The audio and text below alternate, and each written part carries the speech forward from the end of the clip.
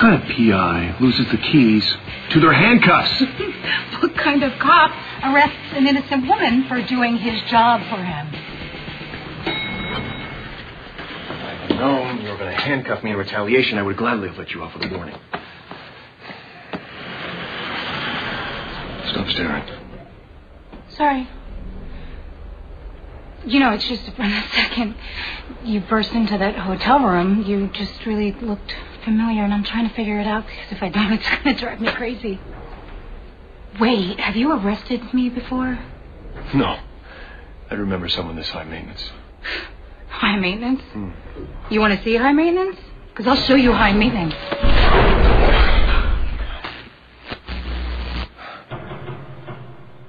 Uh, I think we're stuck. Just when I thought I couldn't get enough of you. Well, what do you know?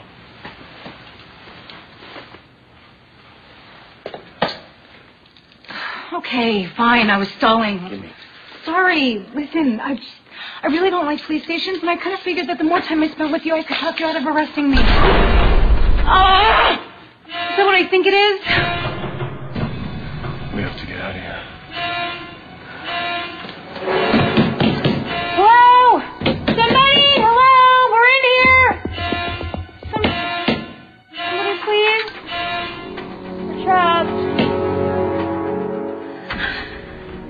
Anything? We're at least 20 floors up. But I gotta tell you, I would rather die of smoke inhalation than fall through that elevator shaft. Right. Then we wait. It's getting hot in here.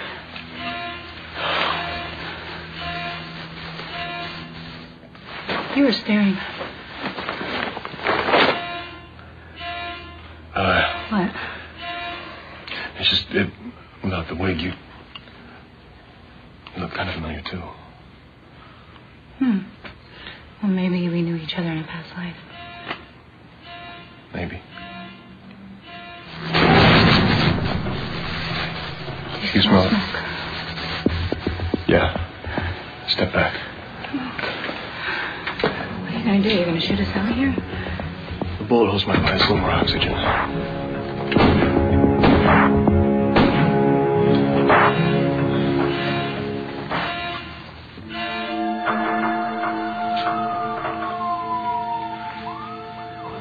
Any regrets?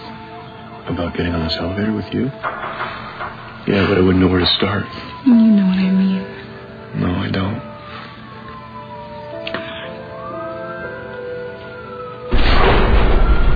Well, I guess when I was younger, I thought. But now I might have a wife and a couple of rugrats running around and no family. But as I got older, I decided that kind of life wasn't in the cards for me. Right about now, I wish it had been. Yeah, me too. People really don't see me as a maternal type, but I really do think I probably would have been pretty good with some kids. It's funny how you open up to a complete stranger right before you're about to die.